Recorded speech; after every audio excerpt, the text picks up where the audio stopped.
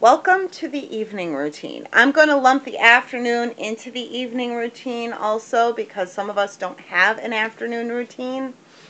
So, first thing, you're going to declutter for 15 minutes and you're going to rest for 15 minutes. If the zone that is assigned to you either by myself or if you're following Fly Lady um, is already decluttered, do the wonderful missions that she sends out every single day for us to have us attack different things in our houses, in our homes. It's not a house, it's a home. All right, and then rest for 15 minutes. Grab some water, grab some tea, grab a snack, whatever. You're going to reboot your laundry. Now, it should already either be in the dryer or put it in the dryer. Get it dried, okay? Some of our wonderful dryers have timers on them and they'll give us this nice, loud, annoying buzz when they go off. Some of us need to set our timer so that way we know when our laundry is done. Once your laundry is dried, fold it immediately and put it away. Laundry is not done until it is put away. All right, so get going with that laundry. Then we're going to do our 15 minutes of loving movement. We don't like the E word, okay? E word just makes you automatically not want to do it. We don't like exercise. We like loving movement. Loving movement could be housework, vacuuming with some lunges or dusting or even laundry, doing squats or whatever. Or get outside, go take a walk. Um, if you're on a workout routine, wonderful. You've already got this sewn up. Okay? Now we hit into after dinner, before dinner, whatever. What is for dinner?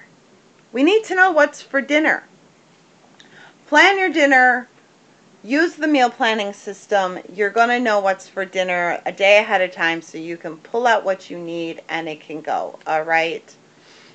Check your calendar and forecast for tomorrow. Why do we need to check the forecast? Well, it's quite simple we don't want to be doing the next step, which is laying out our clothes for the wrong temperature now, do we?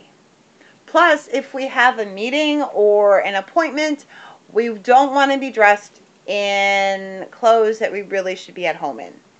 So check your calendar and put take care of your launch pad right now.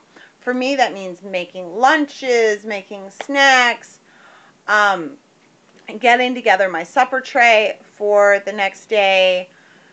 You can do this, all right? It's not that hard. We're breaking it into steps.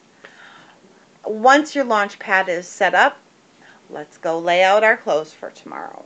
And I am talking everything from socks, underwear, bra, earrings, scarf if you're wearing it, shoes, whatever you're going to put on tomorrow, lay it out. Hairpiece, if okay? Lay your clothes out for tomorrow. It makes it much easier. Make your morning to-do list or your next day to-do list. If there are things that you need to do that aren't in the normal flow of your week, make your list. If there's a certain phone call you need to make or whatever, get it on your morning list put that by your control journal so you have it, and then you're ready to go. Spend two minutes clearing off a hot spot. Not sure what a hot spot is? Check out my video on hot spots. You want to make sure, for me, the main one that I do in the evening is my living room table because that just is like a catch-all. And you know that if you don't take care of that hot spot, it is going to grow and grow and grow and pretty soon it is going to take over your entire room. Shine your sink. This is a big one. You know it's a big one. Having a shined sink sets the tone in your kitchen. It is contagious. Not sure how to shine your sink? I will get a video up shortly on the steps to do it. If not, check out Fly Lady Mac on Fly Lady Premium in the archives for the monthly focus videos. She does a wonderful video with Shining the Sink, which is just great. From here, depending upon your time zone, Fly Lady Premium does our nightly games Monday through Thursday. They are amazing. Fly Lady Mac is absolutely amazing. Go check them out. Look in the archives if you can't play with her on time. They are done at 8 p.m. Eastern Time. So make sure you check out Fly Lady Max games. They are absolutely wonderful. After the games, or during the games, because I know she has done the before bed routine in her games, you're going to wash your face, brush your teeth, and bathe. Now, some of us don't bathe in the evening, and that's fine. You bathe in the morning, whatever. Just make sure you wash your face and brush your teeth. You want all of yesterday's stuff or that day's stuff off of you, and let's start fresh in the morning.